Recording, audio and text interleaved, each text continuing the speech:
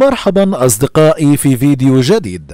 ستون عاما كاملة مضت على حادثة يلفها الغموض حتى يومنا هذا. يعرفها أي مواطن من الجمهوريات السوفيتية السابقة باسم حادثة فريق دياتلوف وما دفع بهذه القصة الغريبة إلى الواجهة مجددا هو إعلان النيابة العامة الروسية يوم أمس عزمها إعادة التحقيق في الحادثة في محاولة جديدة لإزالة الغموض الذي يلفها.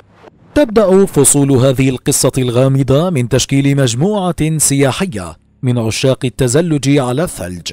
ضمت ستة طلاب من معهد الأورال للبوليتكنيك ومعهم ثلاثة خريجين من المعهد ذاته فضلا عن متخصص خبير في التزلج والمسير الشتوي. شكلوا معا في فبراير من العام 1959 مجموعة سياحية قادها إيجر دياتلوف طالب السنة الخامسة في المعهد. ولذلك سميت الحادثة باسمه وكذلك يحمل اسمه الجبل الذي وقعت فيه الحادثة. وضعت المجموعة خطة المسير في نهاية يناير وانطلقوا بعد أيام بين القرى في شمال الأورال. وهدفهم النهائي الصعود على قمم جبلي أوتوترين وإيكو تشاكور ووفق تلك الخطة كان من المفترض أن يرسلوا برقية عند وصولهم منطقة محددة. وذلك في موعد أقصاه الرابع عشر فبراير ألا أنهم لم يرسلوا أي برقية ومن ثم لم يصلوا في الموعد المحدد وهو 20 فبراير. إلى قرية كانت النقطة النهائية في المسير. عندها شكلت فرق بحث وإنقاذ وفي السادس والعشرين فبراير عثر فريق بحث على خيمة تعود للمجموعة بالقرب من قمة جبل هناك وفيها أغراضهم ووثائقهم الشخصية وفي اليوم التالي عثروا على جثث أربعة من أعضاء المجموعة ملقاة باتجاهات مختلفة وذلك على مسافات بعيدة عن الخيمة من بينهم دياتلوف قائد المجموعة. وفي شهر مارس عثروا على جثة خامسة بينما لم يعثر على جثث الأربعة المتبقيين إلا في شهر مايو بعد ذوبان الثلج. وكانت جثثهم على بعد نحو 2.5 كيلومتر عن موقع الخيمة ولم ينجو من الحادثة سوى شاب واحد تخلف عن المسير بسبب إصابة في قدمه.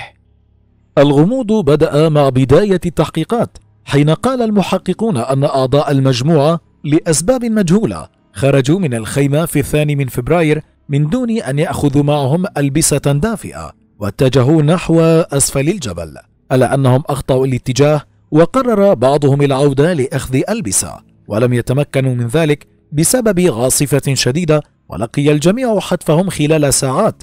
نتائج التشريح كشفت أن ستة منهم ماتوا بسبب البرد.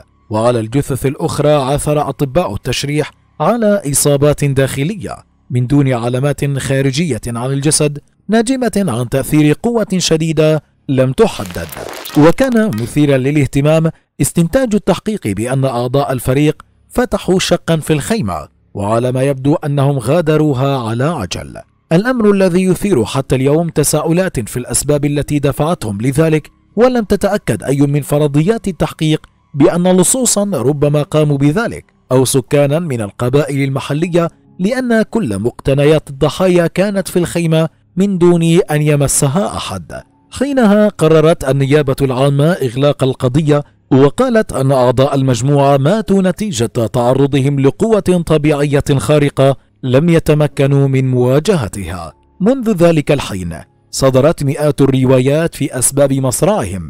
البعض يؤكد أن كائنات فضائية تزور تلك المنطقة وأن تلك الكائنات لسبب ما قتلت المجموعة وألقت جثثهم في مناطق مختلفة. وقال آخرون أن العلماء السوفييت كانوا يجرون أبحاثا سرية في إمكانية نقل الأجسام بواسطة ترددات معينة وقتل جنود أعضاء المجموعة بعد أن دخلوا الأنفاق واكتشفوا ما يجري هناك. وقد أنتج فيلم سينمائي يتبنى هذه الرواية. وهناك من يقول أن لعنة الجبل هي التي سببت لهم الذعر وجعلتهم يفرون من الخيمة حفاة من دون ملابس شتوية أو معدات مناسبة. وركضوا في جهات مختلفة فقتلهم البرد خلال العاصفة. وحتى يومنا هذا تبقى الأسباب التي دفعت تسع شبان وفتيات للهرب من الخيمة على عجل لدرجة أنهم لم ينتظروا إلى حين فتح بابها بل فتحوا شقا في جدارها وخرجوا عبره حفاة بألبسة خفيفة غامضة ومجهولة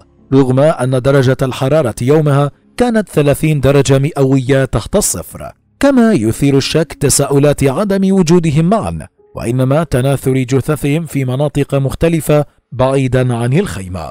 هذا فضلا عن طبيعة تلك الإصابات الغريبة في أجسامهم التي لم تترك علامات ظاهرة وإنما تسببت بأضرار داخلية مميتة لأعضاء الجسم. وقد أظهرت الفحوصات التي أجريت على جثث الفريق إصابة البعض بكسور في الجماجم والصدر. وكانت جثة لدوميلا دوبونينا 21 عام وسيمين زولاتريف 38 عاما بلا عيون أو لسان فيما وجدت جثث آخرين بالملابس الداخلية فقط.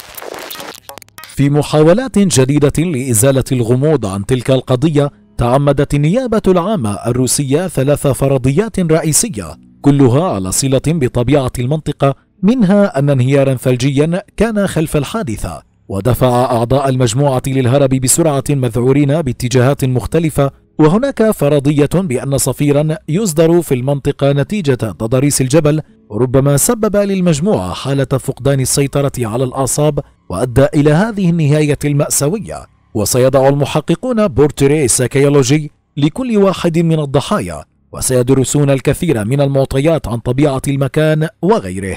وذلك للكشف عن ملابسات ما جرى منذ ستين عام. وكان من بين التكهنات الأخرى أن المجموعة قتلت بصاروخ سوفيتي وأن بعض المجموعة كان لها اتصالات بالكي جي بي وكالة الاستخبارات السوفيتية وكانوا في مهمة سرية لمقابلة عملاء أمريكيين. ولكن مكتب المدعي العام الروسي نفى كل هذه المزاعم قائلا أن المجموعة توفيت نتيجة انخفاض حرارة الجسم. إذا أعجبك الفيديو لا تنسى مشاركته مع أصدقائك على مواقع التواصل الاجتماعي وضغط زر الإعجاب والاشتراك في القناة لدعمنا لإنتاج المزيد من الفيديوهات وأيضا ليصلك كل ما هو جديد لدينا. شكرا للمتابعة وإلى اللقاء.